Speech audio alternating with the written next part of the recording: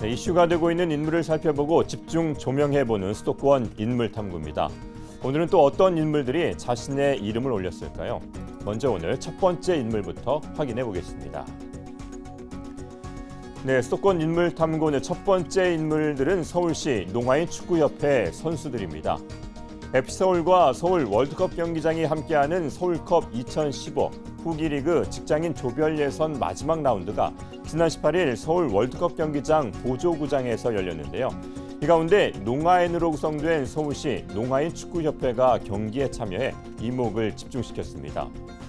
농아인은 선천적 또는 후천적 요인으로 귀가 들리지 않아 언어 장애를 갖게 된 사람들인데요. 이런 이유로 개개인의 실력은 일반인 못지 않지만 단체 스포츠를 함에 있어 불리함을 안고 있습니다. 그러나 이런 어려운 상황 속에서도 서울시 농아인 축구협회 선수들은 매 경기 최선을 다해 뛰며 대회 참가자들에게 감동을 선사했는데요.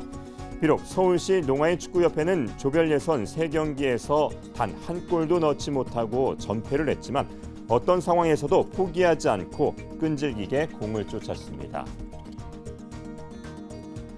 뿐만 아니라 어려운 상황에서도 활짝 웃으며 진정으로 축구를 즐기는 모습을 보여줬는데요. 이런 이유로 서울시 농아인 축구협회를 상대한 모든 팀들은 박수를 보내며 그들의 아름다운 도전을 열렬히 응원했습니다. 서울시 농아인 축구협회 선수로 참가한 정봉규 씨는 의사소통에 있어 많은 어려움이 있지만 축구를 하면 친구들과 하나가 될 수 있다며 2년마다 열리는 장애인 축구 대회를 앞두고 실력 향상을 위해 서울컵에 참가했다고 수화를 통해 참가 소감을 전했습니다.